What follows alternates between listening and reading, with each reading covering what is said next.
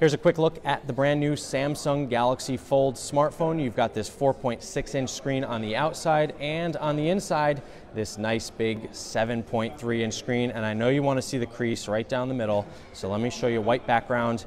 And you really don't see it when you're looking at it straight on. You can see it a little bit when you close the screen like that. Otherwise, you've got some cameras here You've got three cameras on the back, like I said. On the side, you've got a physical fingerprint sensor, which also doubles as your Bixby button. You've got a power button. You've got a volume up and down. And then here's your home screen. And the only tricky thing I've noticed about your home screen, which you can open up all your apps on, is really typing. So if you go to type in here, the keyboard is really super duper tiny, but you can do it. I'm gonna try to type my name, let's see, and it got me, okay. And the other cool feature here is that if you've got something open on the outside, you can actually open it up your phone and now see that same app bigger on the inside. And there's that hinge.